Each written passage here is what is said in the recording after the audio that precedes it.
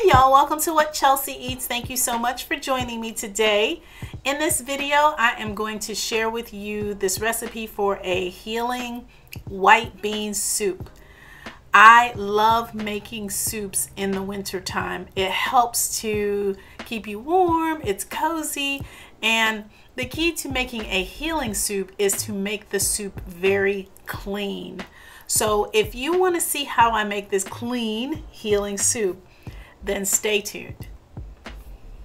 So to make this recipe, I am going to be using a soup pot. I'm going to be using my 360 cookware. You guys know I love 360. If you're interested in learning more about it, there is a link down below where I've done a review video and there is a discount code if you decide you want it. It's WCE25. I don't cook with oil, so I'm using no sodium vegetable broth so that I can start to saute my vegetables. Also, I will put all of the ingredients that I'm using in this recipe down in the description box below this video.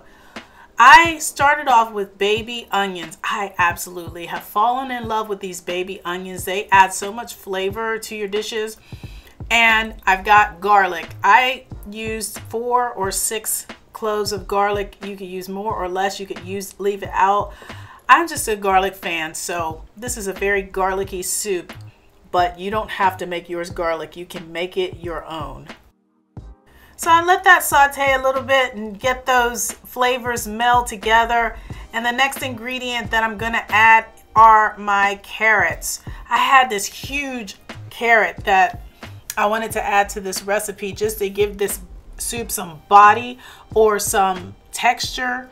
And I'm not even sure that's the word. I think maybe um, something to make it a little more filling or dense. So I added the carrot and it was the perfect addition.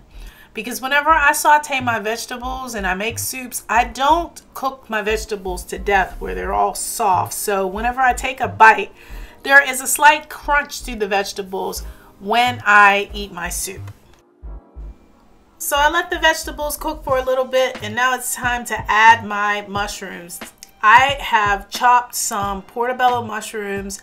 This is about two cups of portobello mushrooms and I absolutely love mushrooms in soup because it gives you a meaty texture, especially if you use mushrooms like um, the large portobello mushrooms or shiitake mushrooms.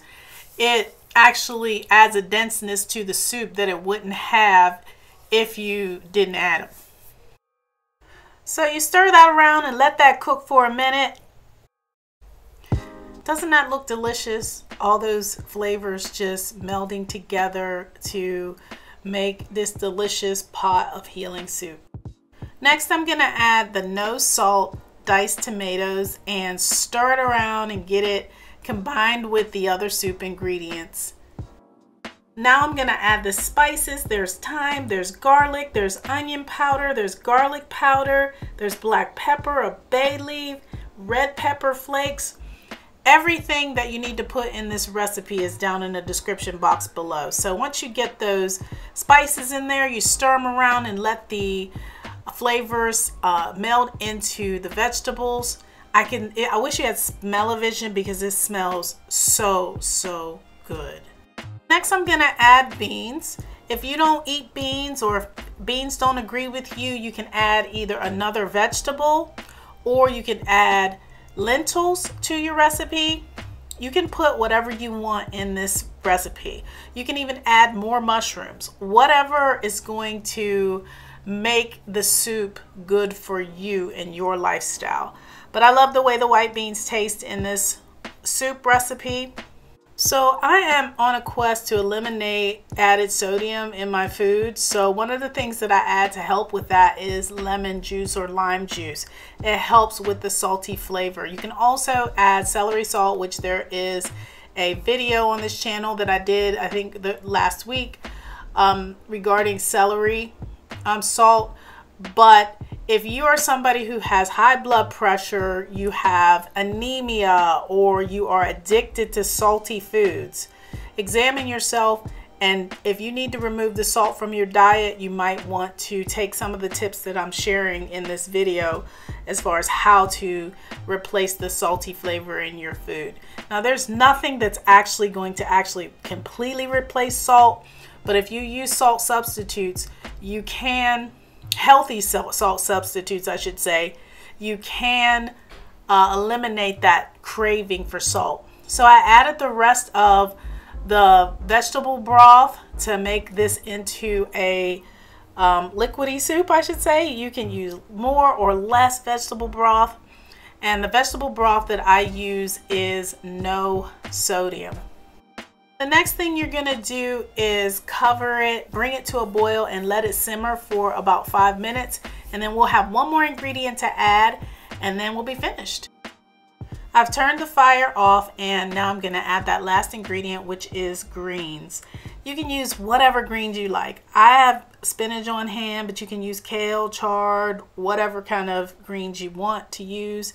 And all you have to do, since the soup is very hot and simmering, is stir the greens into the soup and let them wilt and it's ready. You don't have to let it cook any longer. The, the, the heat from the soup is going to um, cook down the greens just a little bit. Now the soup is completely done, this healing white bean soup, all you have to do now is just serve it and eat it. Please tell me if this is the kind of soup you're gonna add to your rotation. If you have suggestions on the types of recipes you'd like to see, please let me know in the comments section below. If you like this video, please like it and share it with a friend. If no one told you that they love you today, Chelsea in North Carolina loves you very much, and I'll talk to you soon.